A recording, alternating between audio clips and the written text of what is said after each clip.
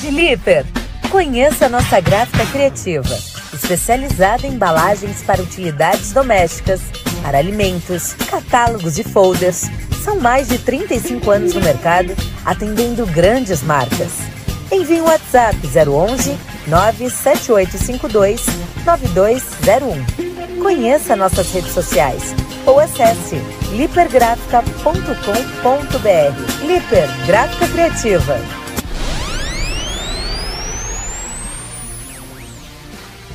Oferecimento Água da Guardiã.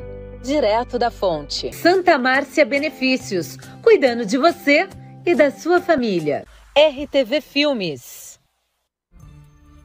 Voltando aqui, 11 horas e 46 minutos, horário de Brasília, nosso Jornal da Manhã, edição Grande ABC. Hora de falar sobre Ribeirão Pires, Aldrey Rocha, secretário de Saúde, está ao vivo aqui conosco para falar para a gente sobre o novo hospital, sobre multirões que vão acontecer na cidade para zerar as filas de exames, né, o contingente, e sobre o Hospital Santa Luzia, que está funcionando com 85% da capacidade. Secretário, bom dia.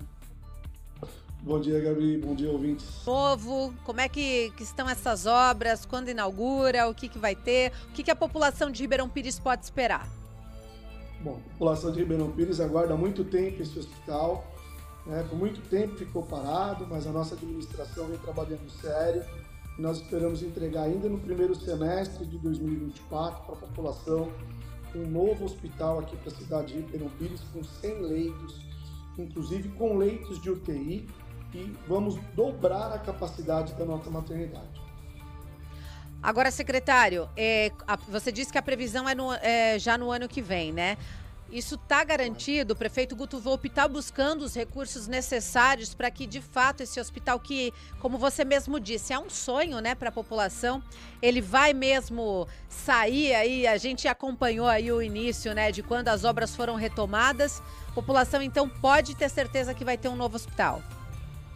Olha, no que depender de nós, sim, o prefeito Guto Volpe está muito empenhado nessa demanda, tem ido a Brasília, tem ido ao secretário de Saúde Estadual, tem conversado com deputados, ou seja, é, ele está empenhado em trazendo muitas demandas, a gente está respondendo todos os projetos, para que, no que depender da, do prefeito Guto Volpe e desse secretário, nós não mediremos esforços para concluir o projeto até o primeiro semestre de 2024.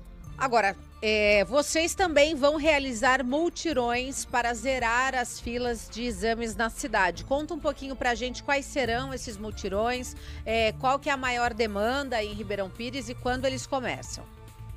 Davi, você sempre à frente, né? É, os multirões vão acontecer sim, nós estamos programando também para o início do ano esses multirões é, serão nas áreas que têm maiores demandas no momento. Ortopedista, oftalmologista, neuro, neuropediatria, ou seja, nós queremos trazer o conforto para a população dessas especialidades. E também estamos aumentando nesse momento também a quantidade de médicos na atenção básica. Esses multirões, então, a população vai precisar se inscrever ou, ou a Prefeitura, a Secretaria de Saúde vai entrar em contato com quem está na fila aguardando? Na realidade, nós temos uma fila reprimida que nós queremos zerar. Essa população já passou pelas UBS, nós já sabemos da necessidade e nós queremos zerar, então, essa demanda reprimida que nós temos dentro do município para que o nosso munícipe, né, o prefeito Guto Volpe, ele está muito empenhado que os nossos munícipes não precisem mais ir buscar atendimento médico em outros municípios. Por isso então, que nós estamos fazendo os mutirões. Janeiro de 2024, é isso? Olha, devemos, já estamos com o projeto pronto, vamos abrir aí a licitação em breve desses multirões e a gente acredita que tão logo seja feita a licitação, início é imediato.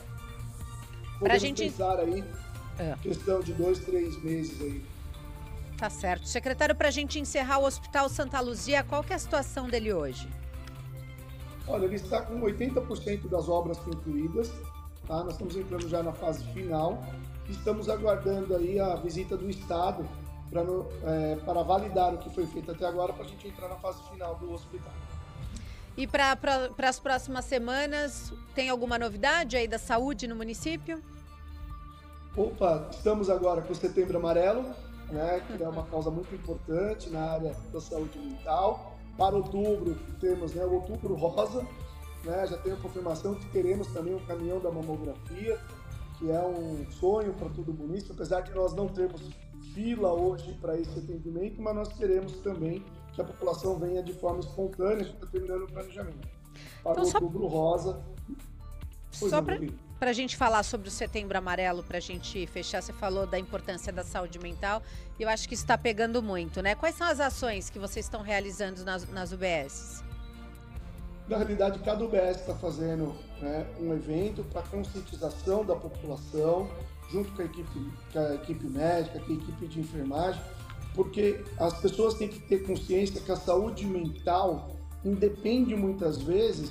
Né, no passado, as pessoas falavam que é frescura. Não, isso não é frescura. Às vezes a pessoa está doente e nem sabe que está doente. Então, a saúde, a saúde mental, quando a gente fala, é preciso tomar muito cuidado, porque ela é uma doença silenciosa e que está cometendo cada vez mais as pessoas jovens. E nós temos que estar preparados, então, com a nossa equipe de psiquiatras e os médicos da saúde da família, para acolher esse paciente. Nós não estamos aqui para discriminar, e sim acolher para que ele tenha um bom atendimento e uma boa experiência no nosso serviço de saúde. Secretário Aldrey Rocha, obrigada pela sua participação. Volta para contar do Outubro Rosa para gente.